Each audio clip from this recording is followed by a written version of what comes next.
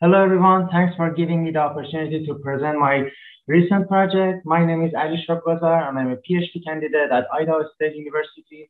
And today I'm talking about the analysis of an innovative seismic resilient precast pier system in accelerated bridge construction method in high seismicity.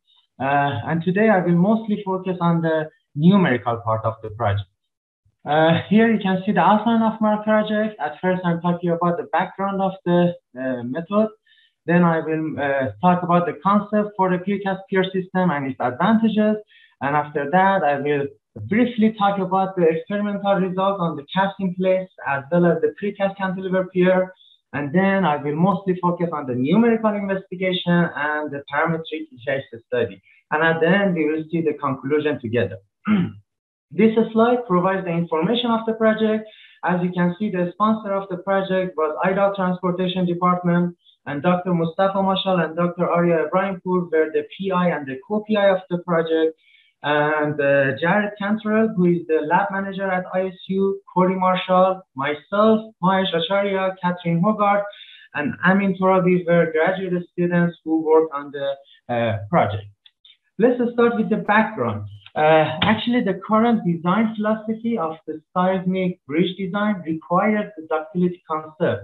What does that mean? That means that uh, we have to make sure that in bridges we have plastic hinge uh, uh because uh, after the earthquake, the bridge might not be functional, but it won't collapse. And if we cannot put that hinges, uh, in the bridge to absorb the energy, seismic energy, we might end up with a brittle failure. That's what not we are looking for. But the point is that in the precast, it is really difficult to obtain the same seismic behavior uh, performance as the cast in place. Why is that? Because we don't have continuous bar. And, uh, and we cannot make all the components attached to each other in the precast yard and bring it to the uh, bridge side. Uh, because it's going to be huge. The transportation is impossible. Uh, imagine that we have footing, column, and cap beam. Uh, so we have to bring them in pieces. And when we want to connect them, the connection between those precast components plays the key role. And uh, in this slide, I mean, the, over the years, bunch of connections have been developed. And in this slide, you can see one of the um, connections that is kind of common in Utah and Idaho, uh, which is called grouted coupler.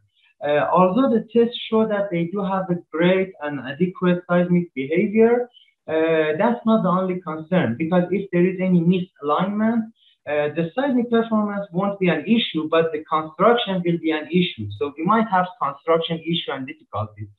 And the other kind of the connection is grouted post-tension duct, uh, in this kind of connection, we have rebar coming out of one element and it goes inside the other element. Uh, and this kind of connection can be used for both seismic and non-seismic zones. Uh, but again, this kind of the connection has the tolerance issue. Sometimes it happens that they don't match to each other, and that's why it might have uh, some construction difficulties. In order to avoid these difficulties, the tolerance, transportation, and the construction issue, um, I'm proposing a competitive uh, uh, connection, which is called as a pipe connection. In this slide, you can see the detail of the pipe connection, uh, but in the middle of the slide, you can see the demonstration model of the connection. Uh, the, basically, the idea here is that, as you can see, there is a pipe filled with concrete coming out of the column. That pipe goes inside the pipe in the footing, and in the other side of the column, there is another pipe which goes inside the uh, cap beam. That's the whole idea. But there is another cool thing is that if we have any limitation on the weight transportation for the tra transportation, and if we have a gigantic cap beam, uh, we can have the cap beam as a shell element, which is shown in the demonstration model, we can ship it to the site and pour the concrete over there and make it solid uh, in the site. So that's another cool thing.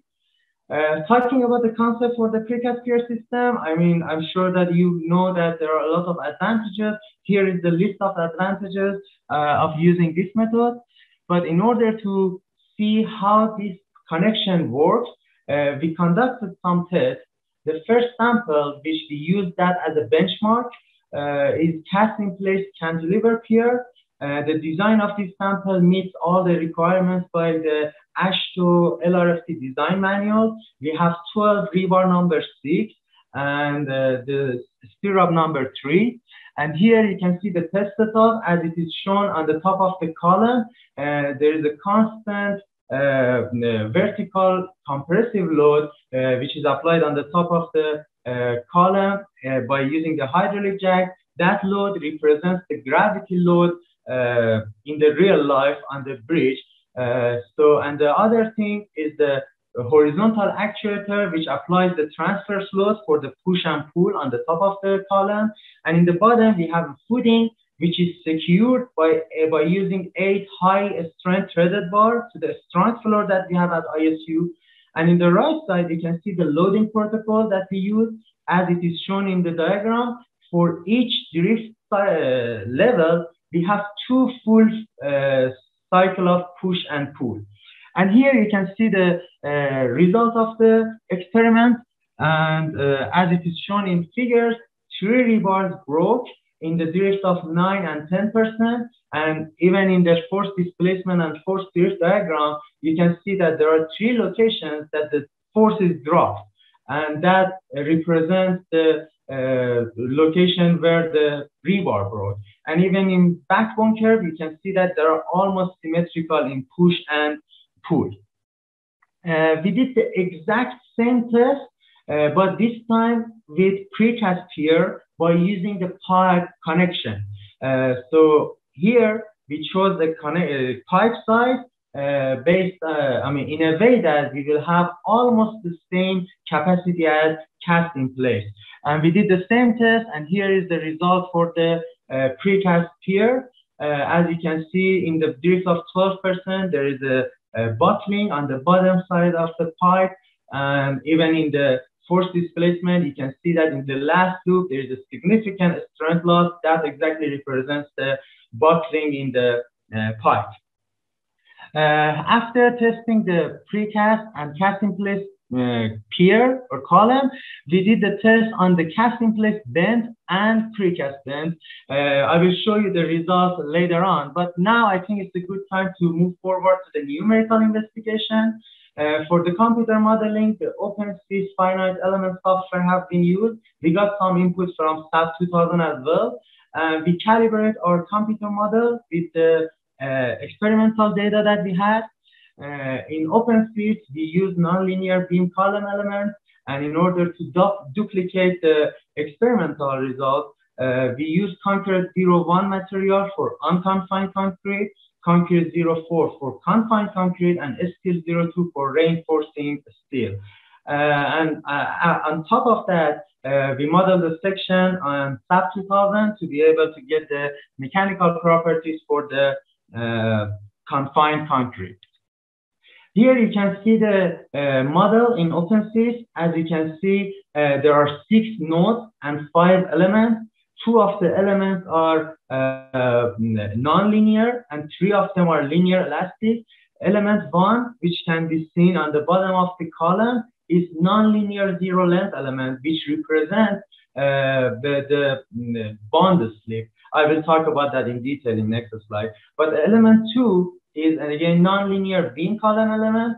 And element three, four, and five are linear elastic with high stiffness. We basically made them rigid.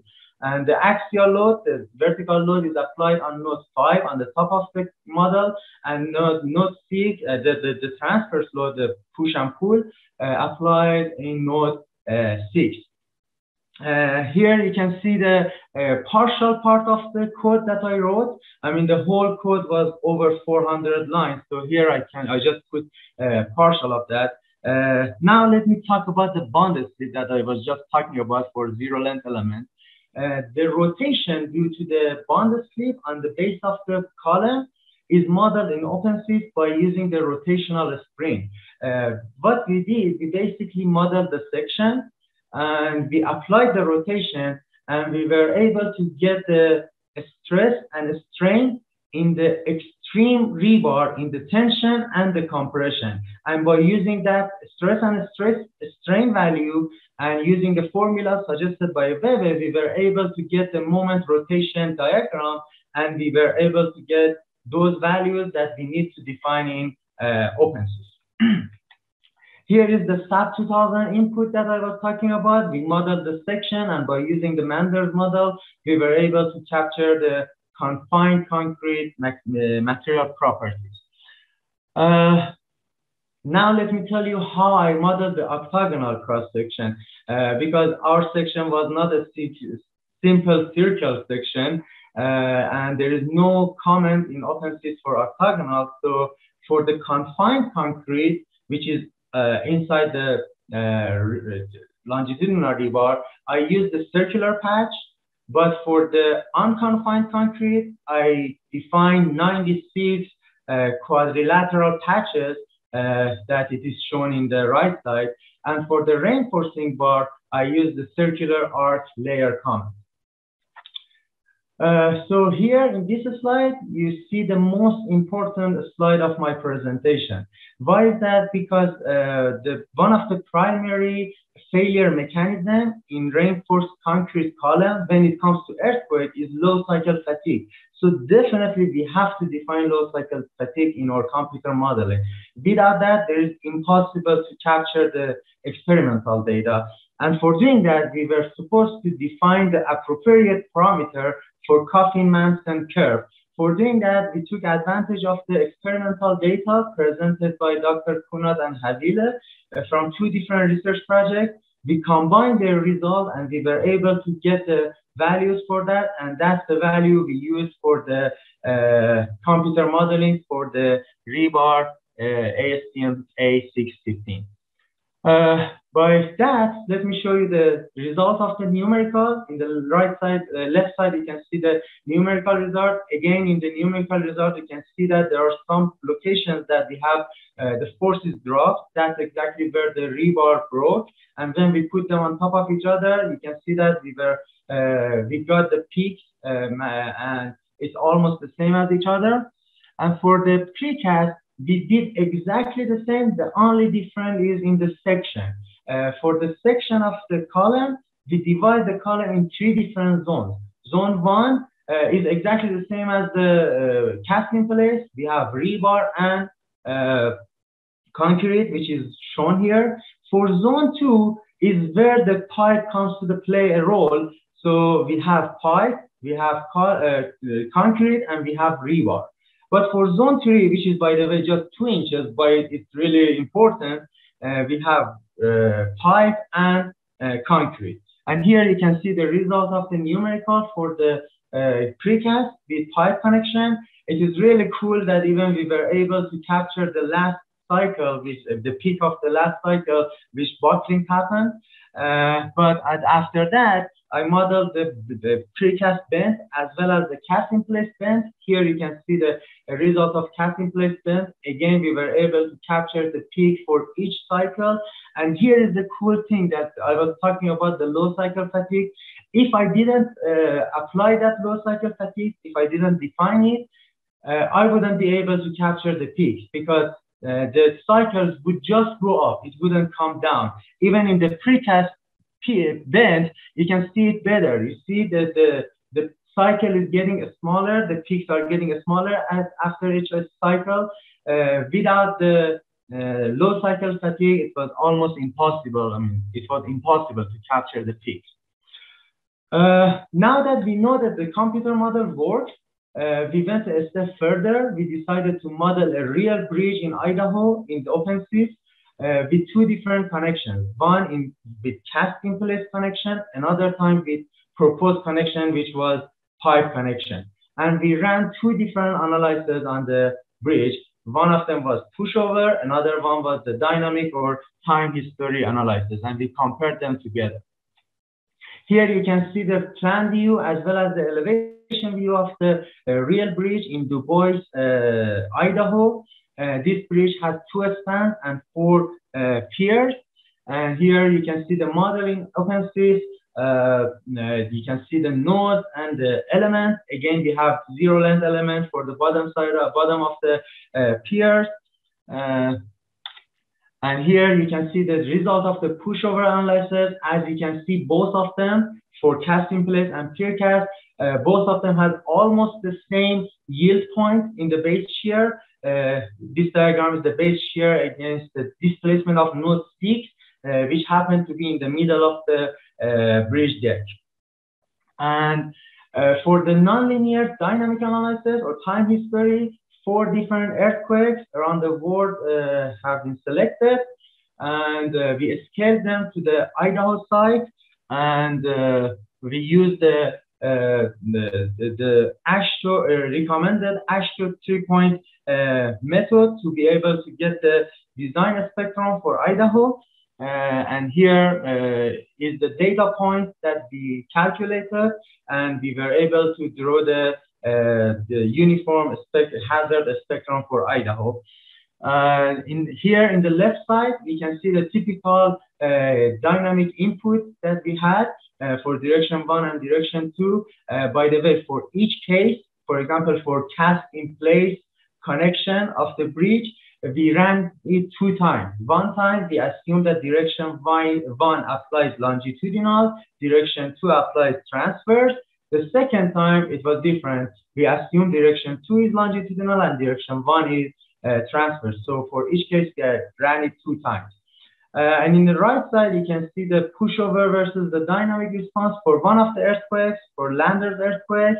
Uh, but uh, it is needless to mention that so definitely the uh, seismicity of Idaho is not as severe as, I don't know, for example, California. So that's why we don't see that much nonlinear behavior in the bridge under the one of the earthquakes, for example. Uh, in this slide, you can see the summary of the information we got from the uh, computer modeling. Where, as I mentioned, we ran the program two times uh, with different directions. We got the maximum base shear and the displacement, and by using the actual requirement, which uh, which is 100% of the larger displacement or base shear plus 30% of the smaller one, we were able to cal calculate the combination of the base shear and uh, displacement, and we could compare it with the uh, pushover uh, result. Uh, the, this table pre presents the data, uh, I mean, the result for the cast in place bridge, and this one for the precast bridge. And we, we noticed that both bridges, I mean, bridge with both connections, cast in place and the uh, pre uh, pipe connection has almost the same behavior.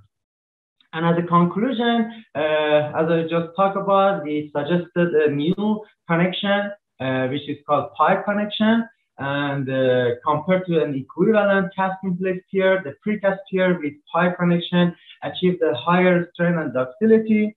And we modeled it in OpenSees. And uh, in order to get the experimental results in the computer modeling, we have to uh, define the low cycle fatigue and the predicted cycle uh, hysteresis force displacement for a column in cast in place and precast, and for the bend, again, cast in place and uh, precast, uh, agreed with the experimental result. We got almost the same. And then we did the case study and we modeled a bridge on that with two different connections. And both bridge models had almost the same pushover uh, shear yield value. And here is some of the references and the publications that we had. And in this slide, I just I would love to thank uh, all people and companies who helped us uh, for on this project. And thank you so much for your attention and uh, time. It was my pleasure to present my uh, research uh, for you. Thank you so much.